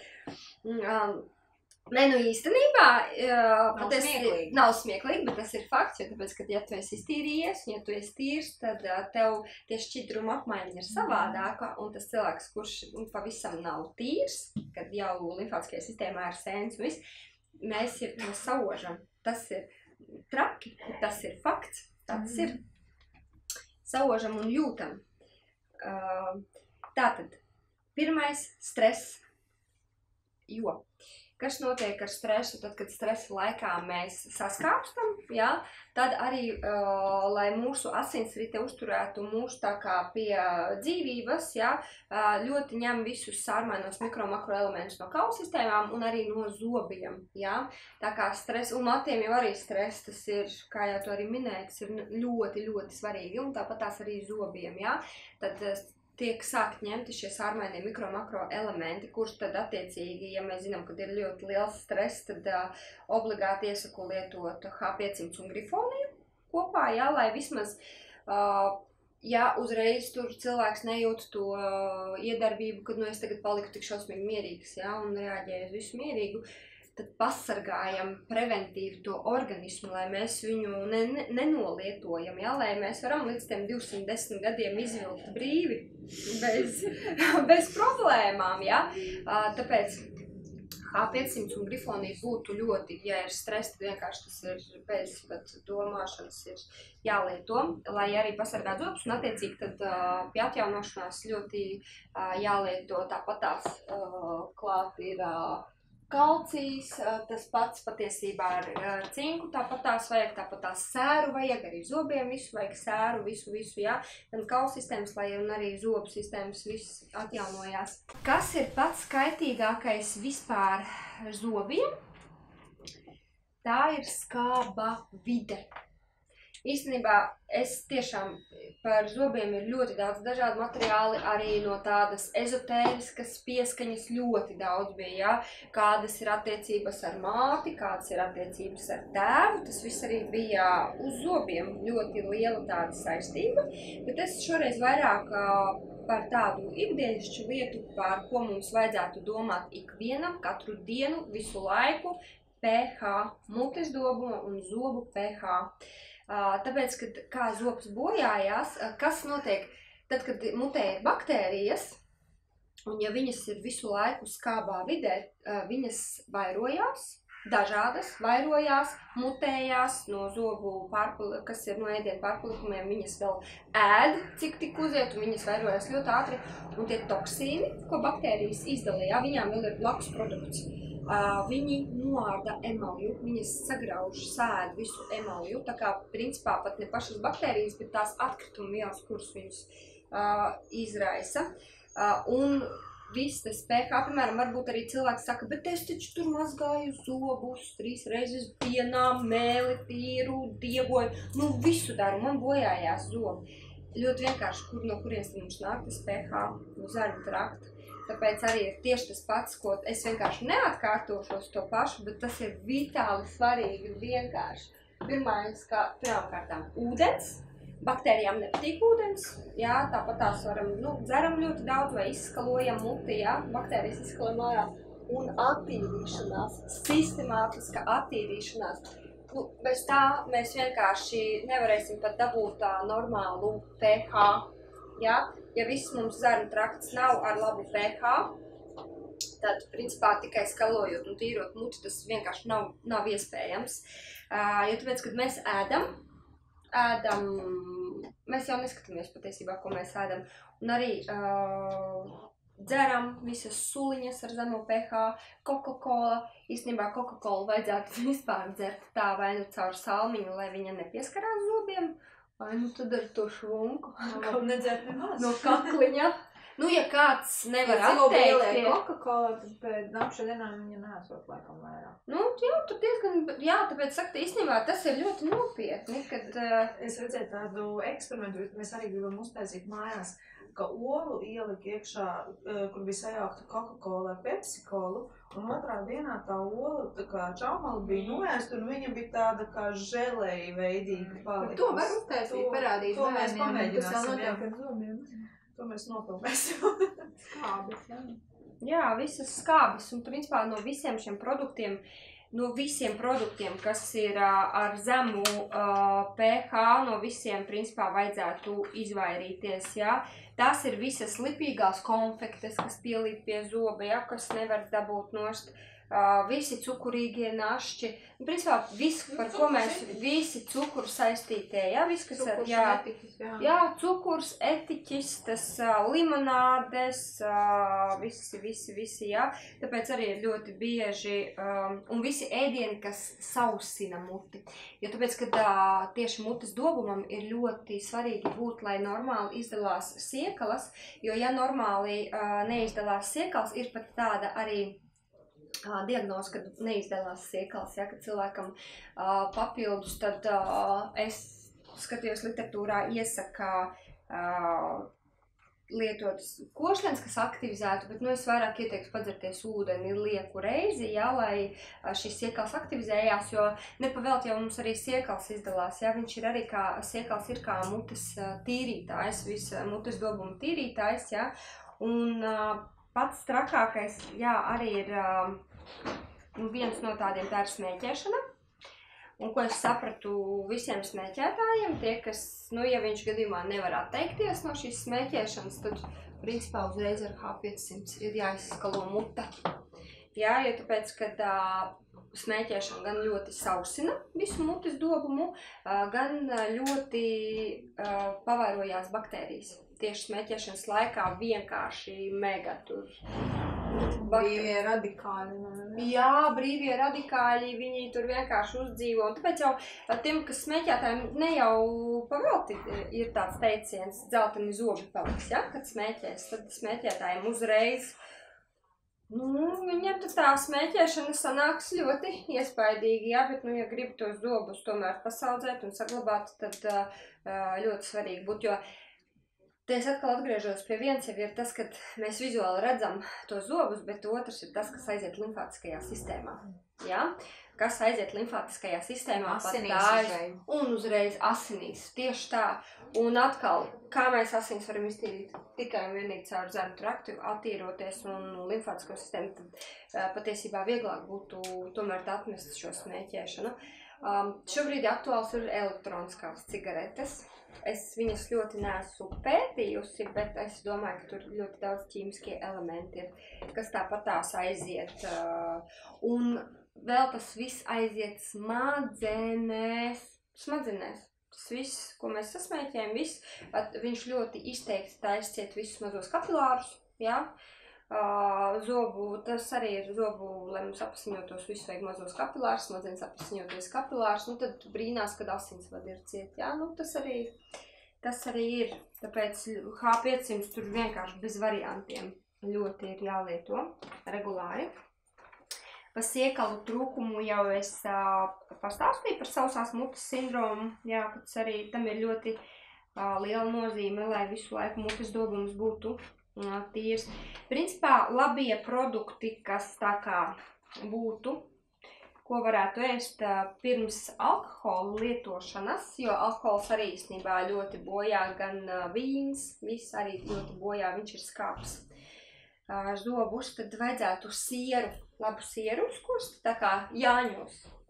Pirms dzersiet aliņu, šņabīti, vispārējo jāuzkoš siers, un H500 tam vajadzētu būt kabatā. Viss ir sārmeņš, ja viņš ir pareizs, labs ko. Nu, ja viņš ir labs.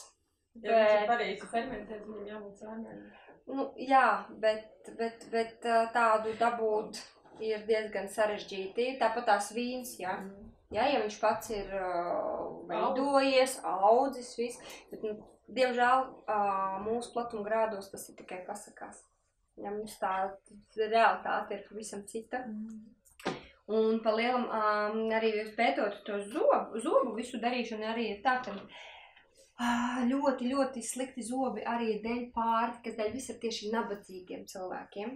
Jā, bija arī speciāli pētīti nabadzīgie cilvēki, bet tas tāpēc arī ir. Viņi dzīvo stresā, viņi nevar izvēlēties labus produktus, jā, uh, viņi nedomā vispār par savu veselību, viņam tāda attīstīšanās vispār nav prātā. Bet kaut gan arvien vairāk uh, īstenībā cilvēki, pat tādi, pat nabadzīgāki cilvēki saprot, ka viņam ir jātīrās, jo līdz ar to viņam tiešām uzlabosies dzīves kvalitāte, un viņam nevajadzēs lieki tērēt naudiņu, lai ietu labot zobus vai darīt kaut ko citu.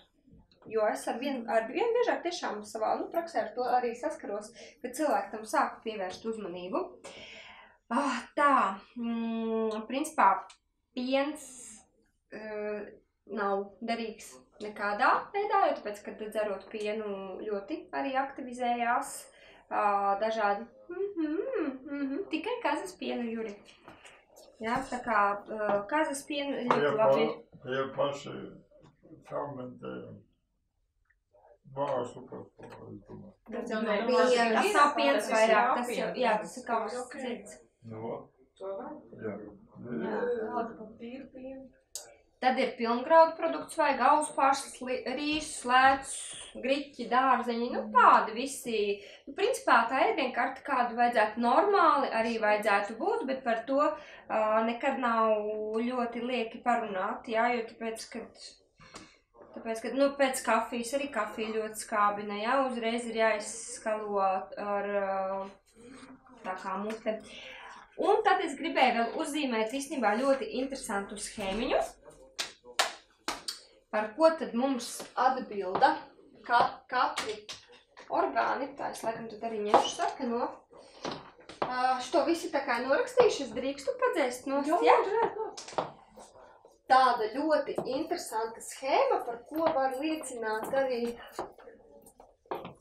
kad mums sāp zobi, vai tieši šie zobi ir ļoti jūtīgi, vai nevar saprast, kāpēc tieši tie. Un, uh, starp citu, arī varu padalīties uh, no prakses, ir bijis tāds gadījums, ka pēc zobārsta arī ļoti jūtīgs un sāpīgs zobs, var uh, alfa alfa likt virsū lucēru, nu, jo viņš ļoti smuki ir kā uh, visu vēl kārā, visus gan toksīnus, uh, jā, viņš ir kā sorbens ļoti labs, un skudurkoku mīzu, ja gadījumā ir bijis kaut kāds iekaisums, vai var tā kā sakost kapsulas starp zobiem skudurkoku mīzu likt, un sudrabu, protams, pūst, jā, lai tas iekaisums neiet uz priekšu. Arī var teiskoku. Teiskoku vispār var visu laiku rīvēt smaganā. Ļoti negatīvi, bet Ļoti negatīvi, bet vai... Eh. Ar laiku tējas koku arī varēja matu problēmas pie šampūna piepilināt. Jā. Es aizmirsu pateikt par tējas koku. Jā, tā kā jā, pie šampūna arī pilinam Dažas teiskoku. pilīni, pilīni. Jā, divas, trīs pilītes, un arī, uh, principā, ja ir, uh, ja ir ar sēnīšu problēmas dažādas, jā, kas jau uz ādas aktivizējās vai matos aktivizējās, tad teiskoks arī ļoti labs, un tad teiskoku attiecīgi uzpilinam uz pirkstiņa un, Zobu. un rībējam, jā, visu zobus, smaganas, rīvējam tik ilgi, kamēr tas teiskoks, tā kā pārvēršas pēc garš, tā kā, ja ūdens, tu viņu vienkārši vairs nejūtas smaganas. Tas nav ilgi, es esmu mēģinājis. Tas ir burtiski 20 sekundes pietiek, un viņš jau viss ir jau... nu. Jā. Jā, tā. jā, bet dienā vairākas reizes, ir īpaši tie, kas iet uh, tīrīšanos, tīrīšanos un kam ir ļoti izteikts tās sēnes, psorijās un vispārējais, jo tāpēc, kad uh, primāri jau ir, nu, limfātiskā sistēma atkal, jā, atkal tā pati limfātiskā sistēma caur visām smaganām, tad tējas koku ļoti izteikti rīvējam iekšā un tieši tā, un matiņus visus mazgājam visu ar tējas koku, tā kā viņš ļoti labi palīdz.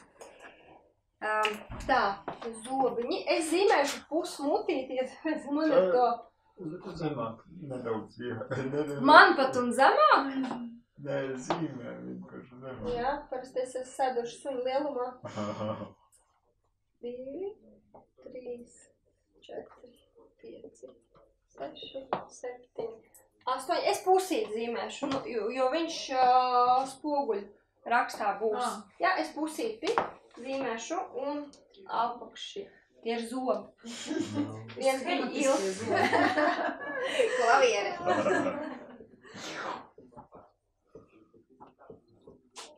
Jā, jā, es mēģināju vakar aktivizēt, nu, visādi, Astoņas bet... tev ā, vajag, tad vienu pietrūkt. 1, 2, 3, 4, 5, 6, 7. Aha. Es pat esi izaucu. To jau nevajag, gudrības jums jau. Tas ir. Jā, uh, tā tad mums priekšējie zobiņi, tās ir nieres un urīnpūslas. Jā, vai viņi ir jūtīgi, vai viņi bojājās. Zani, māja ar galvu, tu laikam vari apstiprināt, Nē, es jā? vienkārši zinu, to, ka katrs zobs atbild par kaut kādu Savu orgānu, jā. Jā, to es tieši ājurvēju, to ļoti, ļoti uzsveru.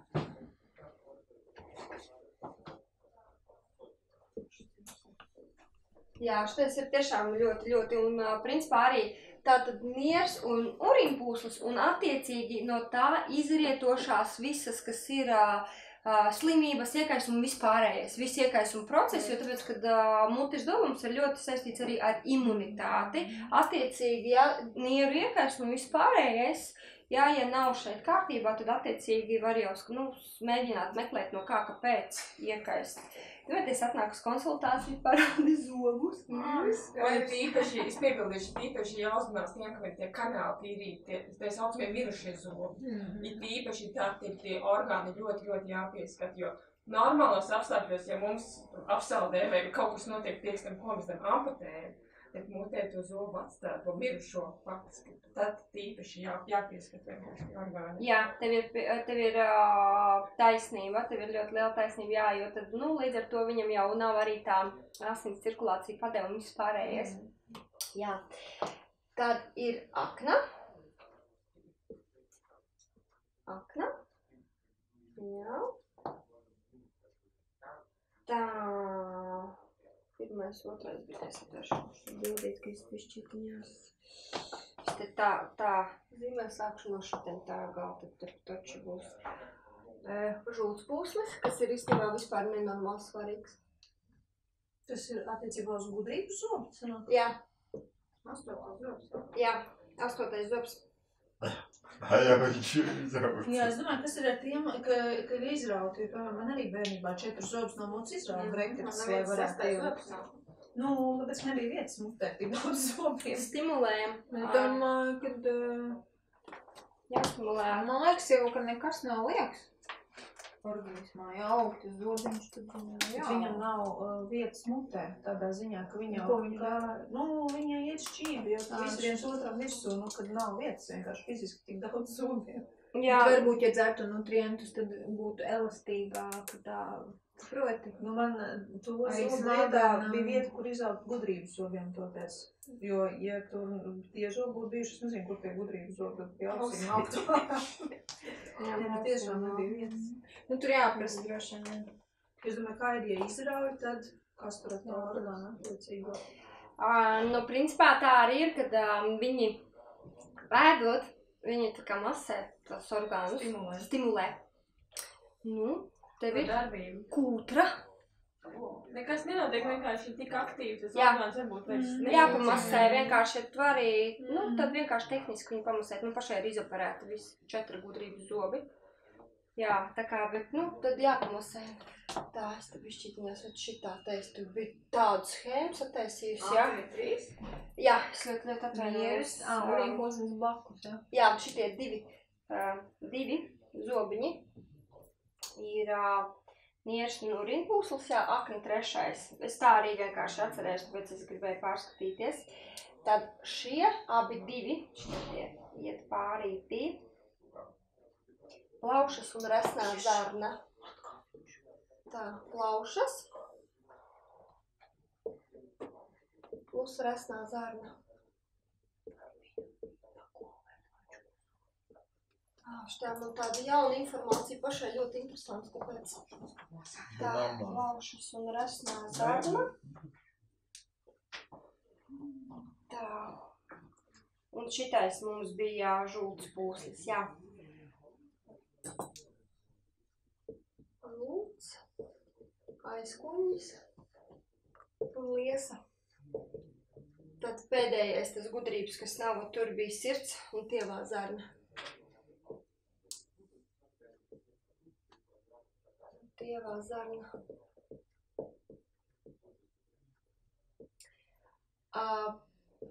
Tā, un principā apakšējam uh, ir tā, ka šeit arī ir sirds un tievā zarna. Bet šie te ir žults un liesa. Bet šie ir plaušas un rasnā zarna. Kur žults posls aizkoņas liesa. Es te pa blatam parādīšu to schēmu. Var arī domāju. Jā, viņas ir tās schēmas. Ir. Kas man ļoti pārsteidza, kad viņš nav tā kā pāris augšā lejā, bet šī vieta tā kā nom, nomainījās. Jā, kad Tāpēc, ka plaušas un rasnā zarna ir polārais pāris. Viss, kas ir, nu, pēc uh, austrumu tā, vai ne? Tāpēc, Jā. Tā, šitais tāpat tās ir nieres. Un urīnpūsls arī, jā. Trešais ir akna. Mana mīļotā.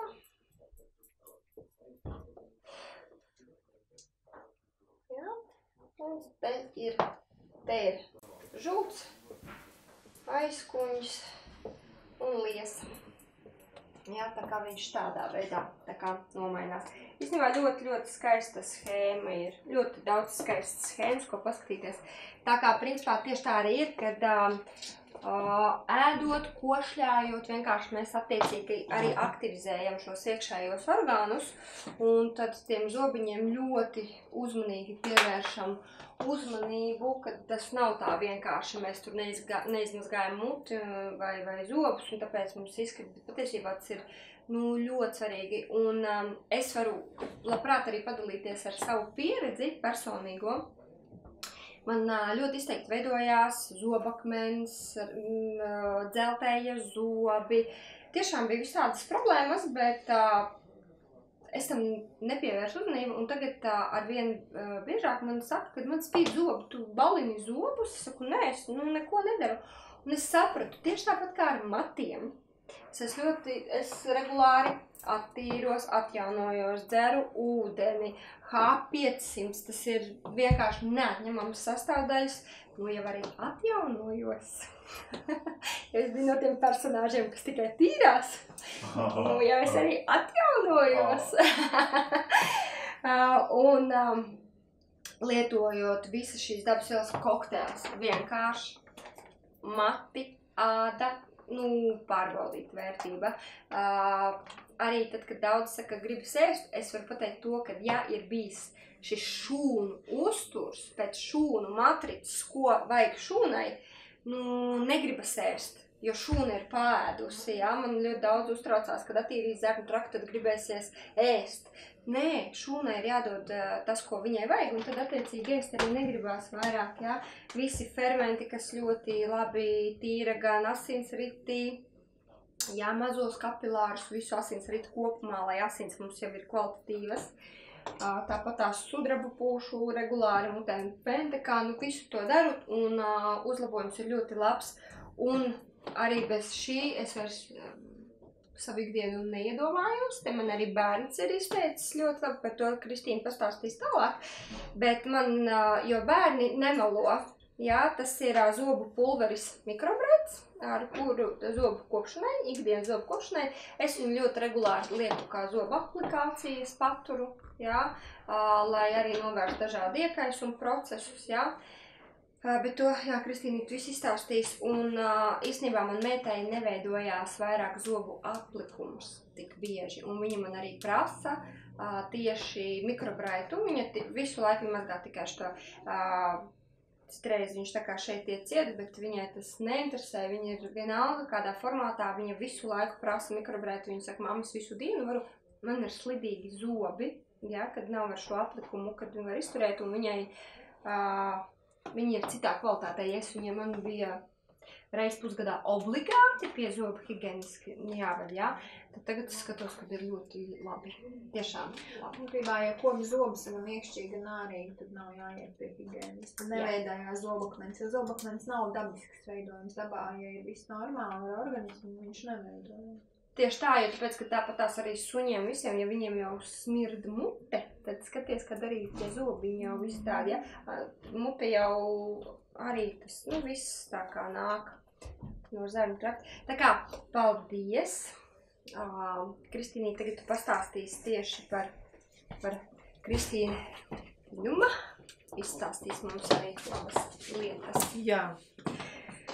Es turpināšu arī zobu tēmu un uh, izvēloties līdzekļus, ar kuriem mazgāt zobus, tad nereti mēs apjūkam. Atkāpjamies.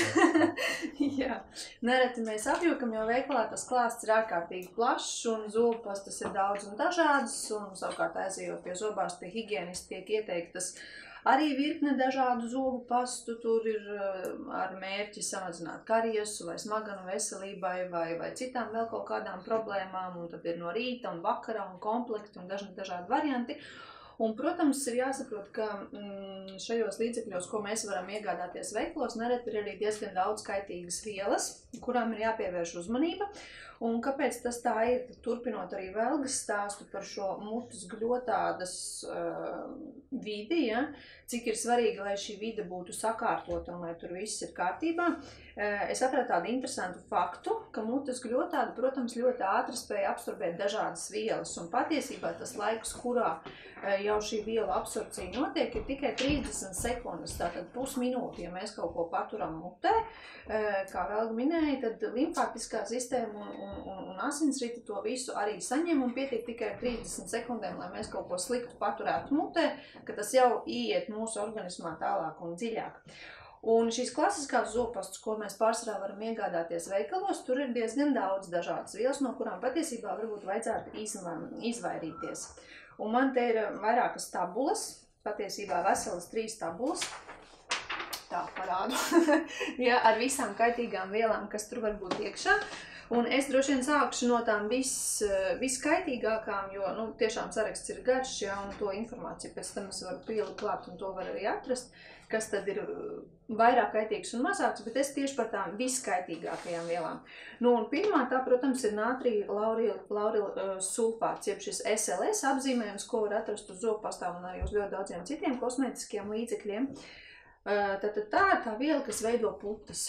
Un principā šī sajūta, ka mēs ar zopastu mazgājam zobus un visa mute ir putās, mm, es nekaunēšos piesaukt arī ražotājs, teiksim, Colgate, jā, vai, vai, vai Blendamed, vai visi citi. Mēs mazgājam, tur viss plūst un šķīst no šīm putām. Tas nav īstenībā pat nekas labs. Un, un, un, un kāpēc tas ir eh, kaitīgi, šis laurils sulfāts natrija? Tāpēc, ka tas veicina asiņošanu, čūlas, tā ir bīstama, toksiska ķīmiska viela, agresīvi iedarbojas uz ķermeni, un tā ir sastopama arī dažādos tīrīšanas eh, līdzekļos, tātad ķīmiskos tīrīšanas līdzekļos. Arī natrija kokosulfāts, jeb SCS, tāds apzīmējums ir atrodams, arī tas ir um, šis putu veidotājs, un tieši tāpat ir kaitīga toksiska ķīmiska viela. Uh, arī triklozāns, tā ir antibiotika, to parasti pievieno zobu pastās kā pretmikrobu līdzekli, bet uh, šis līdzeklis izjauc mutes dabīgo mikrofloru un uh, tādējādi, protams, kaitē veselībai un atrada tādus faktus, ka ilgstoši lietojot zobu tīrīšanas līdzekļus, zobu pastus ar šo triklozānu, uh, tas var veicināt uh, vēzi, radīt arī aknu, nieru, sirds plaušu un hormonālās sistēmas traucējumus. Un ir pat tādi fakti, kur ir minēts, ka uh, zobu pastus, kur sastāvā ir triklozāns, nedrīkst lietot ilgāk par trim nedēļām, jo tas jau tik tiešām tad, tā kā kļūst bīstami. Vēl uh, alumīnija laktāts, ko pievieno zobpastām kā pretiekaisuma līdzekli. Tas ir viens no alumīnija sāls paveidiem, un uh, lietojot zobpastu ar šādu sastāvdaļu, uh, jāapzinās, ka alumīnija sāļi uzkrājas ķermenī, tie var veicināt smadzeņu darbības traucējumus un arī izraisīt problēmas ar kauliem un locītavām. Nu, un pats svarīgākais, par ko mūsdienās ļoti daudz strīdās arī zinātnieki un, un daudz dažādu faktu par fluoru. Jo bieži vien zobārsti tātad norāda, ka obligāti ir jālieto zobpasta ar fluoru, un īpaši bērniem. Man pašai tāda pieredze, ka ģimenes ārsts um, piekodina, ka lūk, ir mainīts šīs fluora normas, un tad bērniem ir jālieto zobpasta ar vēl augstāku šo fluoru tātad līmeni. Jā, vēl augstāks fluora līmenis jābūt zobpastā, bet un, un fluoru pievieno uh, kariesa profilaksei, bet te ir tiešām ļoti svarīga šī dega un šī fluora izcelsme. Tātad, ja tiek, uh, ir šī dega pārāk augsta, tad tiek sasniegts pretējs efekts un tiek tieši ne tikai zobiem, bet arī visam organismam no, tiek nodarīts kaitējums. Kādā veidā? Man bija atsevišķi arī materiāls par šo fluoru. Un te ir stāsts par to, ka, uh, protams, cilvēku organismam fluors ir vajadzīgs, taču zobpastās ir sastopams šis fluorīds patiesībā. Un fluorīds ir dažādi pētījumi, ka viņš nodara kaitējumus veselībai. Piemēram, Harvardas Sabiedriskās veselības skolas un Ķīnas universitātes zinātnieki ir atklājuši to, ka fluors pazemina bērnu intelektu. Viņi ir pētījuši tātad, Ķīnā daudz dažādas provinces, un tur ir atklājies, ka šis fluoru sastāvs dzeramajā ūdenī, tātad nevis pat zubu pastāvs, kur viņš ir ļoti paaugstināts, ja, kur jau ir ļoti liels devs, bet dzeramajā ūdenī, ja fluors bija lielākās devās, tad šiem bērniem pēc pētījuma bija ievērojami zemāki IQ, tātad tie rezultāti, viņu intelektu spējas bija ievērojami zemāks nekā tiem, kur ūdens sastāvā fluora bija mazāk. Un, jā, tātad šī fluora pārdozēšana arī izraisa zobu planku mainību. Tātad tam zobam var parādīties tādi dažādi tā kā pigmenti, nu, daudz krāsainība, teiksim tā, ja. Un ko vēl fluors dara, tas arī maina vairogdziedzeru darbību. Tas savukārt ir nedaudz cits pētījums, tātad par to, ka fluors un arī vēl viens elements bromīds, bet nu, mēs tā kā par fluorīdu runājam, fluoru, tie um, maina vairāk dziedzeru darbību un līdz ar to uh, cilvēkiem var rasties pat garīgās veselības traucējumi dažādi smagāki, ja ilgstoši un ja tās devas ir pārsniegts, protams, tas viss iet kopā arī ar dzīvesveidu un ar pārtiku un uzturu un visām citām lietām, ko mēs lietojam vai nelietojam, bet, nu, tomēr tātad pastiprināta fluora lietošana patiesībā nemaz zubiem nav nepieciešama fluorīda lietošana. pateikt vēl bišķiņ no ezotērikas. Īstenībā uh, saka, ka uh, nu, tā kā ir pierādīts, ka tas fluors viņš bloķē čiekurveidu dziedara darbību. Tas nozīmē, ka viņš aiztaisa aci, uh, intuīciju, nu, respektīvi cilvēks paliek vadāms, nu, robots kaut kāds. Nu. Ja mēs paskatāmies tās zupastas, kas pārsvarā ir pieejams eh, klasiskā veikalā plauktā, nu praktiski visur fluors ir diezgan arī lielās devās un arvien lielākās devās par cik tiek ieteikts šīs devas augstas, bet nu, pēc šiem pētījumiem es arī atradu faktus, ka Pasaules veselības organizācija skatās, vai nevajadzētu samazināt šo fluoru daudzumu, bet kas ir labie fakti par Latviju, eh, ka īstenībā Latvijas dzeramajā ūdenī fluora nav pietiekama, tā kā vismaz ar dzeramo ūdeni mēs viņu pārāk lielās devās neuzņemam, apmēram Neviens jau divreiz.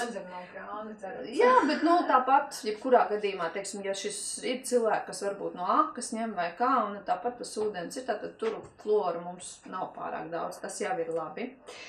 E, tās ir tās galvenās kaitīgās vielas. Bet kā tad rīkoties un kā tīrīt zobus labi un pareizi? Mēs tātad varam ņemt to līdzekli, ko jau pieminēja Velga.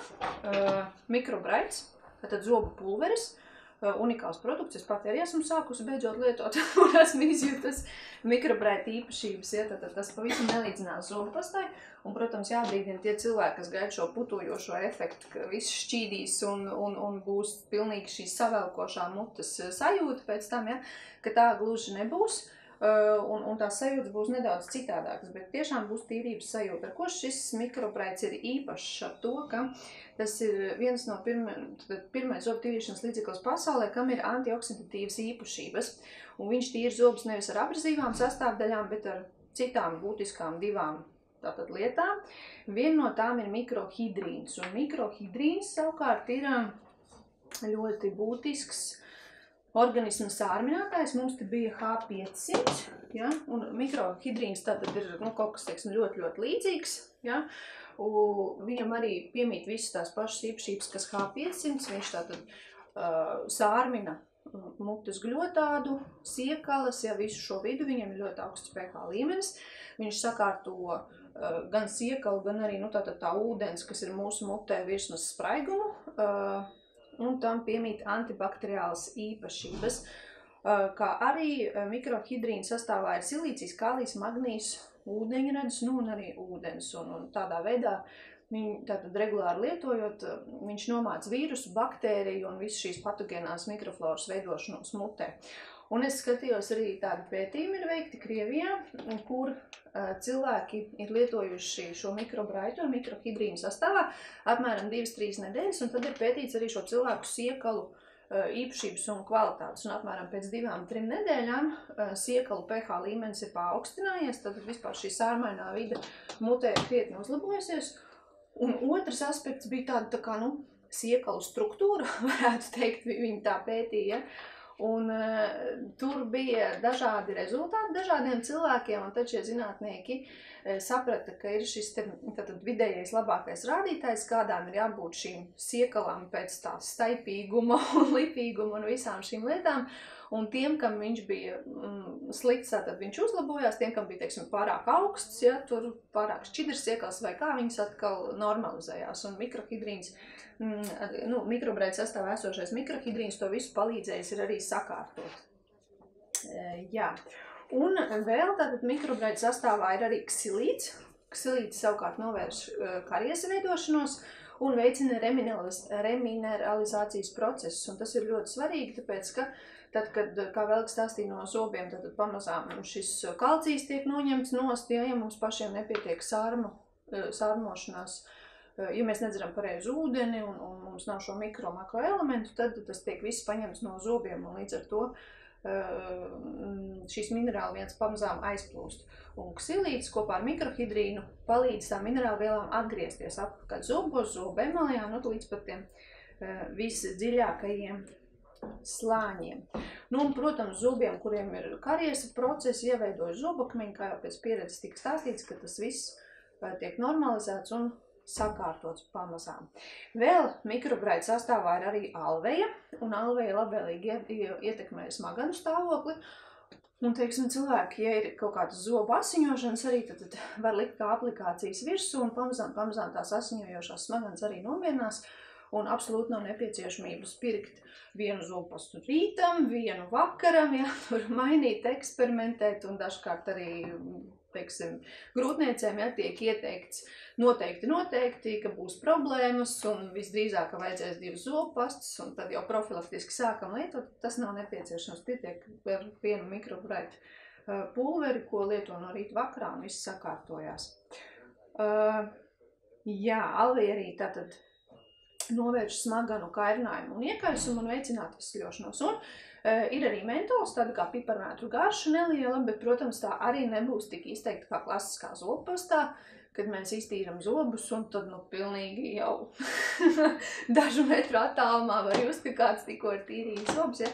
Drīzāk tāds kā, nu, dabīga sajūta ir, ja, vienkārši ir tīras mutes sajūta, bet uh, šī smarža nav tāda nomācoši uzmācīga, teiksim tā.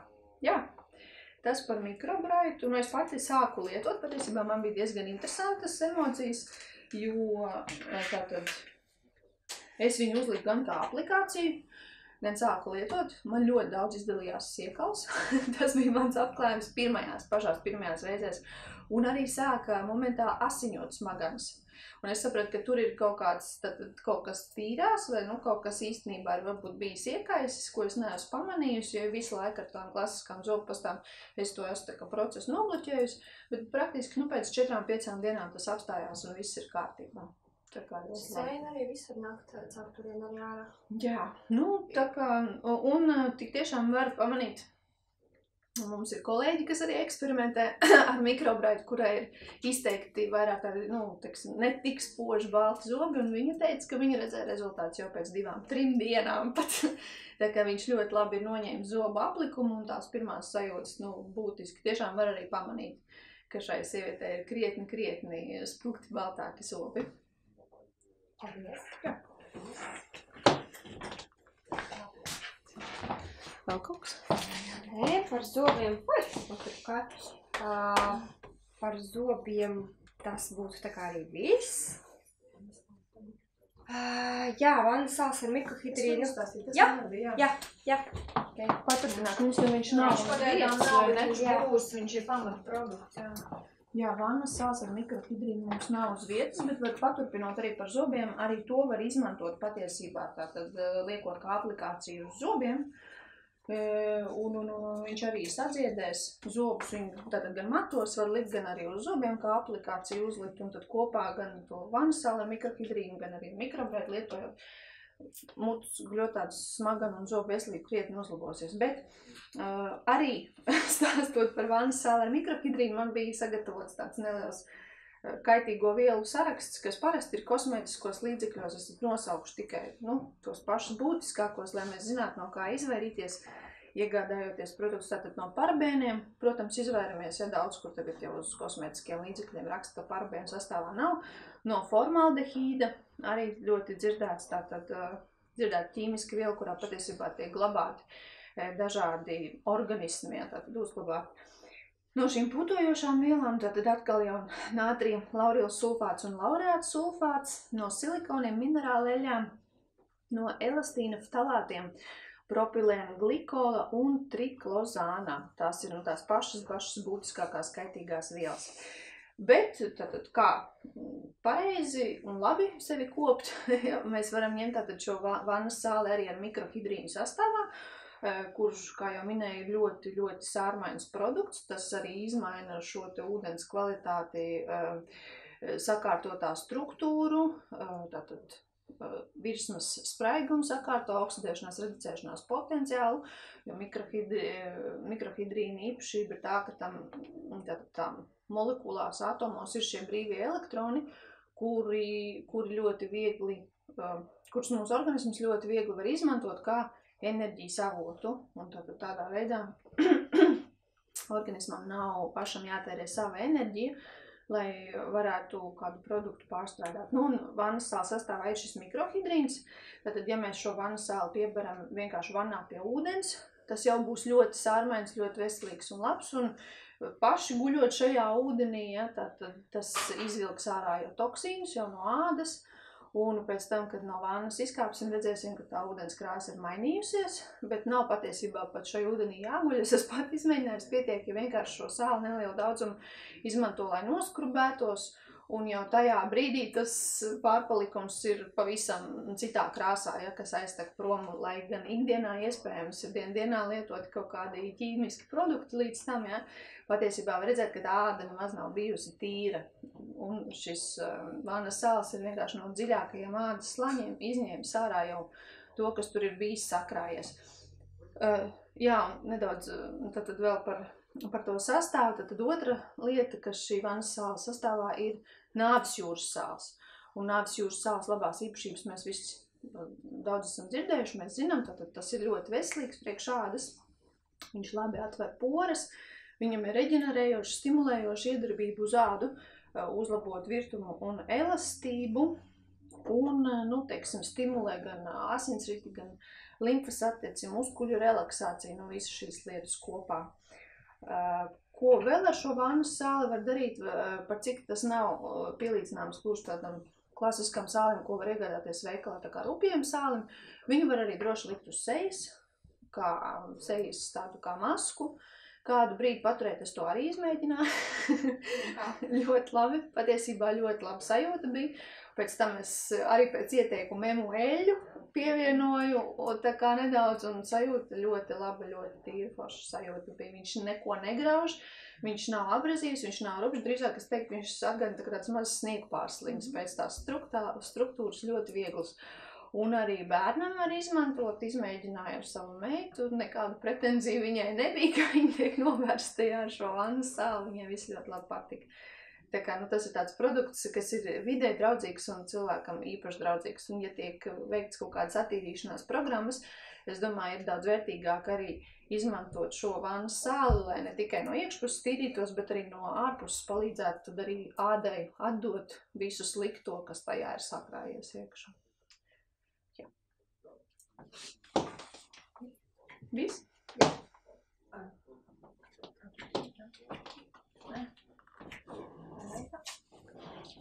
Nē, es principā pateicu, ka īstenās. Uh, par Lucernu runājot. Es stāstīju, ka likt uz zobiem kā aplikācija. E, Mēs par fluoru runājām, jā, un īstenībā to dabiskais fluors mums ir uh, produktā korāla lucerna, alfa alfa.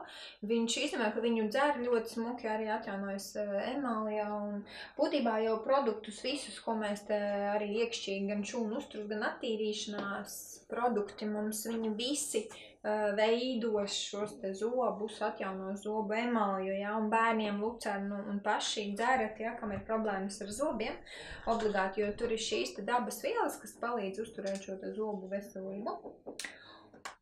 Jā, nu ko, nu paldies visiem! Paldies, mums bija ļoti gara lekcija. Man, man pat šodien likās, ka vajadzēja laikam dalīt vienu dienu par zobiem, vienu dienu par matiem runāt. Bet nu nekas, redziet, cik mēs čakli veselas divas stundas mēs nu, nostrādājām. Es ceru, ka jūs kaut ko vērtīgu ieguvāt un, un, un visiem būs tagad mati un zobi līdz 210 gadiem. paldies, Velga, paldies, Kristīna bija, man liekas, ļoti izsmeļoša un jauka informācija. Gatavojamies šašliks sezonai. Lai varam